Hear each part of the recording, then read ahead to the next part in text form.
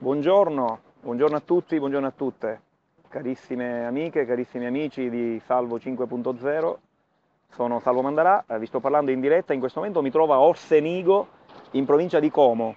Ecco, vediamo se riesco a farvi anche vedere un po' del panorama qui orsenighese. Ecco, eh, sono qui oggi perché devo incontrare, devo incontrare un cliente che, che, che si trova proprio da queste parti. Allora, eh, di che cosa parliamo oggi? Oggi credo che mi scappa la diretta sarà abbastanza breve perché eh, non, eh, non, mi sono aggiornato proprio sulle ultime notizie, ho solo ascoltato un pochino eh, la radio, ho ascoltato eh, Radio Radicale, eh, un pochino della rassegna stampa di, di Massimo Bordin. diciamo che comunque mi è bastato per avere qualche idea su, su, su qualcosa di cui parlare oggi perché niente, ho visto che appunto molti giornali parlano del fatto, eh, alcuni giornali titolavano i nodi vengono al pettine o qualcosa del genere e questi nodi eh, sarebbero il fatto praticamente che il, eh, il mancato aumento dell'IVA e eh, la, il posticipo dell'IMU eh, o l'abolizione ancora peggio sono cose che non si possono fare. Mi verrebbe da dire, ma va? È ovvio, no? Cioè, eh, i giornali lo dicono, si sorprendono, si sorprendono, aia, ma com'è successo? E allora vedono Sacco Manni che fa delle, eh, delle dichiarazioni onestamente, dice non abbiamo le risorse perché ci vogliono 8 miliardi, ma noi questi 8 miliardi non ce l'abbiamo. Io dico, ma va? Allora, ben inteso, 8 miliardi ci sarebbero come? Ma non 8 miliardi, ce ne sarebbero 98 miliardi per la precisione, 98 miliardi che si potrebbero recuperare dall'evasione fiscale delle slot machine. Però è ovvio, quei 98 miliardi puzzano evidentemente. Sapete, c'è il proverbio eh, latino che dice eh, pecunia non olet, cioè i soldi non puzzano. Ma invece evidentemente ci sono alcuni soldi, eh, o perlomeno i soldi di alcune categorie di, di, di ladri, che puzzano. E per esempio i 98 miliardi dell'evasione fiscale delle slot machine puzzano evidentemente perché non, non, non c'è interesse da parte del governo di, andarle, di andarli a recuperare.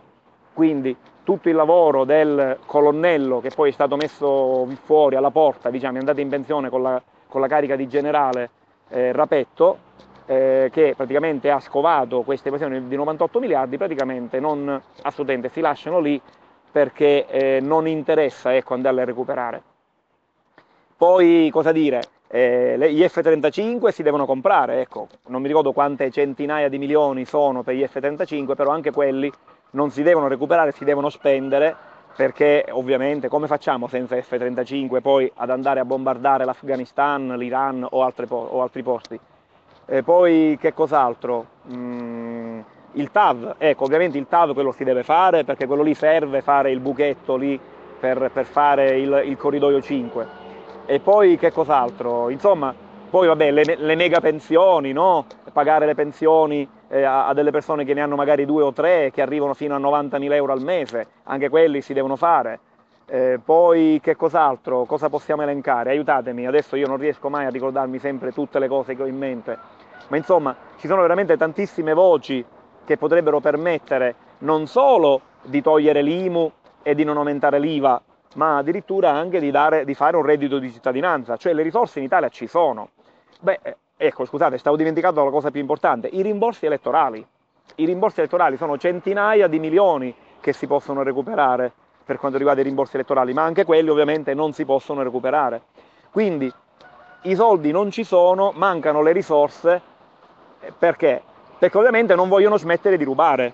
Quindi eh, quando Saccomanni dice non ci sono le risorse dovrebbe aggiungere siccome non vogliamo smettere di rubare allora non abbiamo le risorse per fare le cose che abbiamo promesso, che poi sono cose che ha promesso Letta, cioè il governo eh, eh Letta eh, che, eh, di cui Saccomanni fa parte, praticamente ha fatto delle promesse quando si è insediato, e cioè che, avre, che non, avrebbe, eh, non avrebbe aumentato l'IVA e avrebbe ritardato il pagamento dell'IMU. Ovviamente le promesse non sono mantenibili perché eh, è ovvio che le bugie hanno le gambe corte, a meno che non c'è un cambio sostanziale di strategia. Cioè se tu dici noi adesso smettiamo di rubare e quindi facciamo queste cose, allora forse si potrebbe fare, ma siccome non c'è l'intenzione di smettere di rubare o di proteggere coloro che hanno già rubato. Ecco, un'altra cosa, per esempio lo scudo fiscale, no? il 5% hanno pagato una serie di ladri, probabilmente quelli coinvolti nello scandalo Montepaschi Siena e chissà chi altri.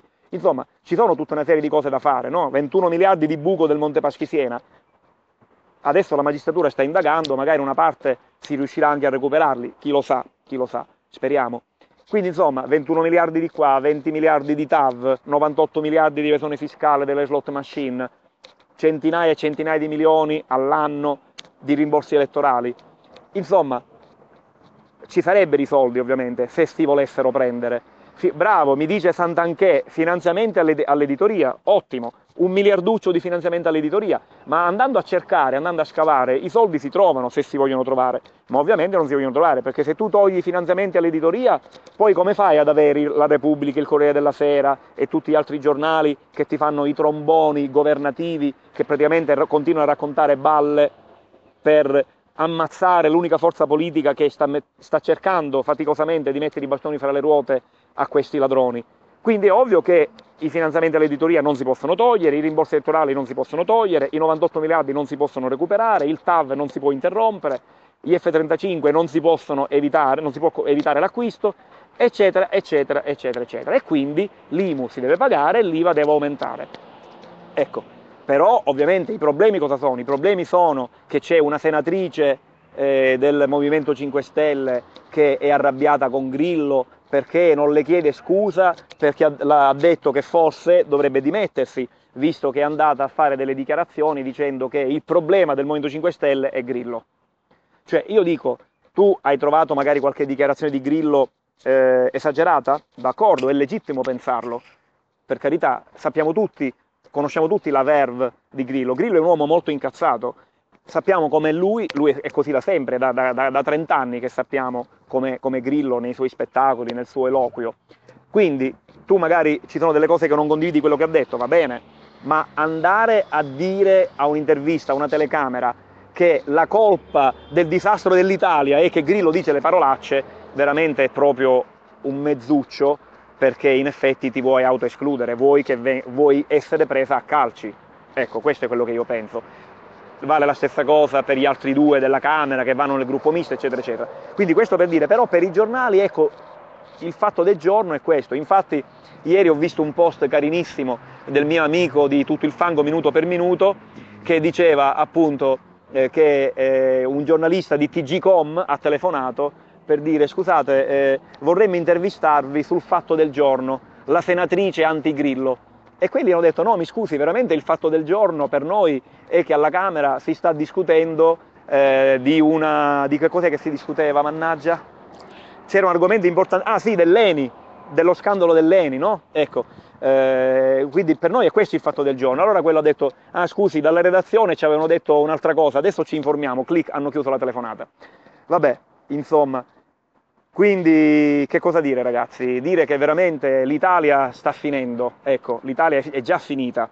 Comunque io sono moderatamente soddisfatto perché eh, penso che veramente quando a settembre o a ottobre, vedremo, ecco, eh, cominceranno a non pagare le pensioni, cominceranno a non pagare gli stipendi degli statali, cominceranno veramente a mancare i soldi proprio per le cose proprio minime, allora gli italiani scenderanno in piazza con i forconi, perché poi a quel punto quando eh, gli italiani eh, che sono, amano essere sodomizzati dal governo, però quando poi comincerà a mancare proprio il cibo, quando poi non avranno veramente i soldi per andare a fare la spesa, allora si sveglieranno finalmente e andranno in piazza con i forconi. Ecco, io aspetto questo momento e credo che ormai manchi veramente poco. Questo è quello che penso. Quindi noi stiamo tranquilli, tutto sommato io sono, come lo, lo dico sempre, non mi vergogno, io sono un privilegiato perché ho un posto di lavoro, uno stipendio che non è neanche tanto basso, quindi non ho problemi per sopravvivere, quindi sopravvivo tranquillamente. Io potrei far parte, diciamo che ho tutti gli elementi per far parte dei galleggiatori, cioè quelli che hanno paura a cambiare. Invece ci sono tanti altri che magari sono a rischio, che hanno paura um, del cambiamento. Però arriverà il momento in cui la gente si riverserà sulle strade con i forconi, ma non di polistirolo come quello che avevo io a giugno di due anni fa quando sono andato a Roma per una manifestazione. Avevo un bellissimo forcone di polistirolo. Ecco, eh, invece eh, molto presto gli italiani saranno finalmente costretti ad andare in strada con i forconi, ma quelli veri, per cacciare questa classe politica. E poi vedrete che le parolacce di Grillo passeranno in secondo piano, si ricorderanno le, le sodomizzazioni ricevute eh, da, da, da, questa classe politica. Quindi io sono veramente, sono veramente tranquillo. Basta, io con questa battuta vi lascio, carissimi amici e carissime amiche, vi auguro buona giornata, oggi è venerdì, eh, ci vediamo per il Mi Scappa la diretta di domani, probabilmente con qualche altra notizia, perché tanto insomma non mancano le notizie. Ecco, oggi la notizia del giorno per me è questa, che i nodi sono venuti al pettine, cioè una cosa che noi sapevamo da sempre naturalmente, cioè l'impossibilità di restituire l'IMU o comunque di, no, no, di restituire in effetti quello lì lo diceva solo il nano in campagna elettorale, ma comunque almeno il ritardo, ecco Letta aveva, pro, aveva promesso il ritardo del pagamento o l'abolizione, ma ovviamente questo non è possibile, o, o perlomeno sarebbe possibile solo se si smettesse di rubare, come ho detto all'inizio, ma ciò è veramente non, non possibile da queste persone. Va bene, io allora vi abbraccio, ah ecco, vediamo cos'è che mi scrivete, fassi cacciare fuori una scusa per poi riprendersi tutti i soldi che spettano per legge. Esatto, sono d'accordo con Sant'Anghè. Andrea Prosperi scrive 4 del PD sono passati al gruppo misto tre giorni fa, ma niente sui giornali. Ovviamente Andrea, ovvio, ovvio. Poi eh, Scubato P dice Gambero vuole essere usata come cavallo di Troia del PD per traghettare i dissidenti nel gruppo misto. Ma chi lo sa, può darsi. Ciao Salvo, che bello rivederti, dice Tequila. Ciao carissima, grazie. È bello per me essere qui con voi. Va bene, vi saluto, così vado, vado al bar, i, sono qui con dei colleghi per la riunione eh, che ho oggi dal cliente, quindi l'appuntamento è alle nove e mezzo, quindi siamo ancora un po' in anticipo. Eh, quindi vado a raggiungere i miei colleghi, magari, magari bevo, bevo qualcosa e poi vado a questa importante riunione con un cliente. Vado a produrre qualcosa anch'io. Un abbraccio. Ci vediamo presto e forza, coraggio, continuiamo. Prima o poi gli italiani si sveglieranno, è solo questione di tempo. Un abbraccio a tutti, un abbraccio soprattutto ai giornalisti di Repubblica, del Corriere della Sera e a tutti gli altri che sono veramente bravi, sono tutti dei giornalisti molto seri, molto obiettivi. Soprattutto un abbraccio al mio amico Corrado Formigli, il più obiettivo, il più bravo di tutti i giornalisti televisivi. Ciao a tutti, a domani.